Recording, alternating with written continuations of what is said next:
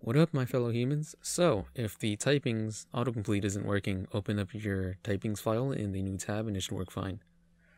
So, first thing we're going to do is go to our main.js and we're going to change the width and height to 800 by 600. Like so.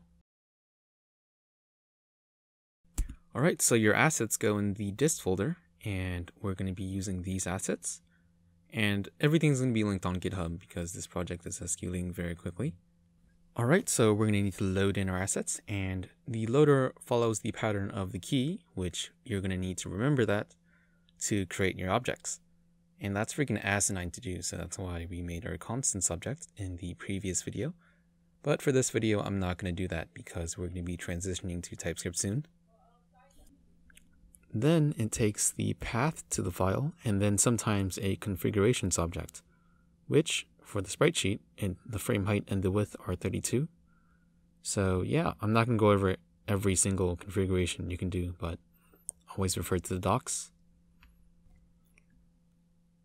Alright, so now we're going to add in our loading bar, and you can think of add as create. So add graphics will make more than just squares and rectangles. It will make polygons, triangles, and etc and it takes a configurations object, which we're going to set the fill style to white. So how we're going to make the loading bar is that the loader emits events. We only care about the progress and the complete for this video, but there are a lot more if you're interested. And the progress events will pass us a percentage, and that's a decimal number.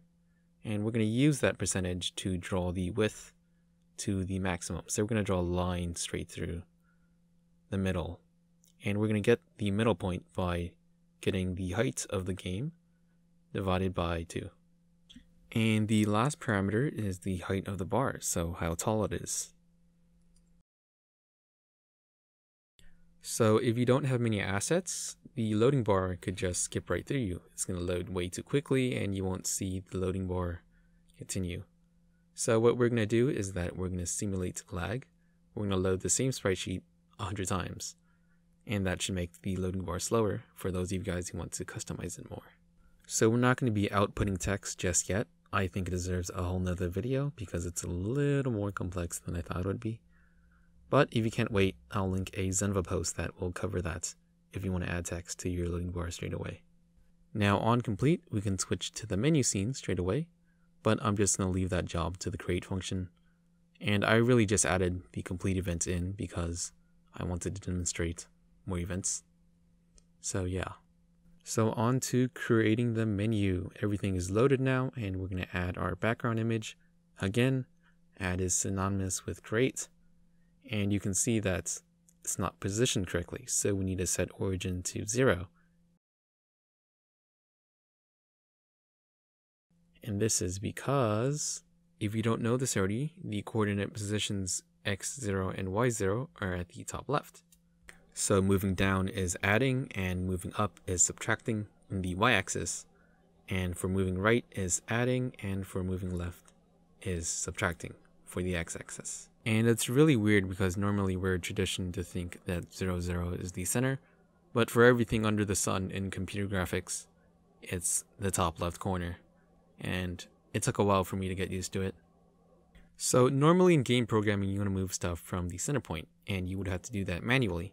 So what Phaser does is that it sets the origin for almost everything to the center. And in some cases, you do want that, but for this case, we don't want that unless you want to calculate the offset. And it's much easier to set the origin to the top left and then move it to the top left, which is 0, 0. So adding the logo in, we want to center it. So we're going to take half the width and we want to push it a little bit down. So we're going to take 20% of the height. So where's our logo? And it's being covered by the image. So by default, whatever is added last is the one that will enshroud everything. To fix this, you can load the background and stuff first, and then everything else later. But what we're going to do is that we're going to place the depth, and the higher the number, the more it's going to be placed on top. So 1 is always going to be on top of 0, and 2 is always going to be on top of 1, and vice versa. So adding the play button, we're just going to center it to the middle of the screen.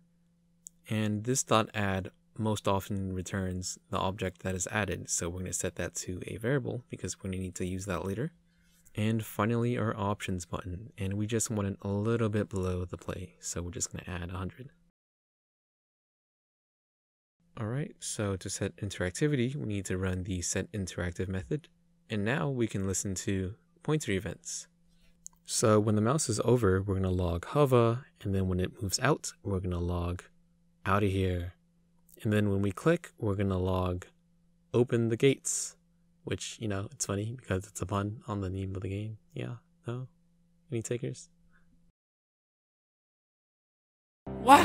You're leaving me? For, for, for, for, for, for, for, forever alone! Alright, so on to adding sprites. This sprite will be the hover sprite, and we're going to place it at 100, 100.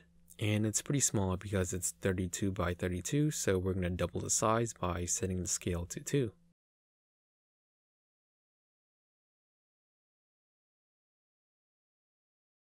Except there's just one problem, so by default Phaser tries to sharpen everything, and with pixel art sprites, you don't want to sharpen anything, so we're going to set pixel art to true in our main.js. Now we're going to make it invisible, and we only want to make it visible when it hovers over a button. So we're going to set the visible to true when it hovers, and we want to place it a little bit to the left of where the button is.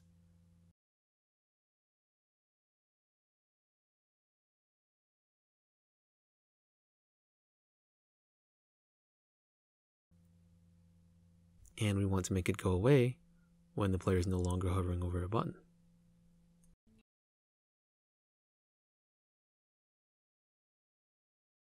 Now to make things more sexier, I'm going to add a catwalk. Now I'm not going to go into animations in detail, but the first key is the name of the animation. The second key, the string, is the sprite you want the animation on, and the frame numbers correspond to the frames on the sprite sheet. And we're just going to play that animation when the button is hovered. And now finally the sound, so it's going to make everything so much better. And we're going to play it on the loop because it's the title screen.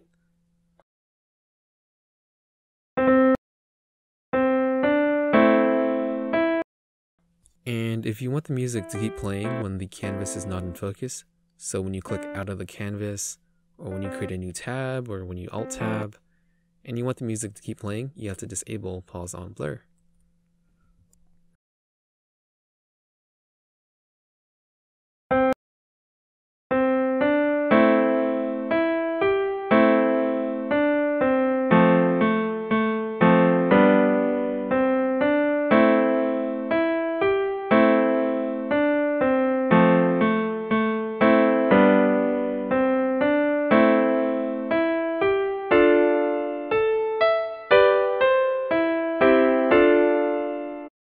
I just had a genius idea, so why don't we make the loading bar load diagonally rather than horizontally?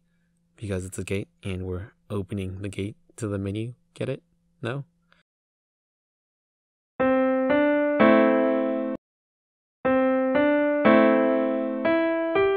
What?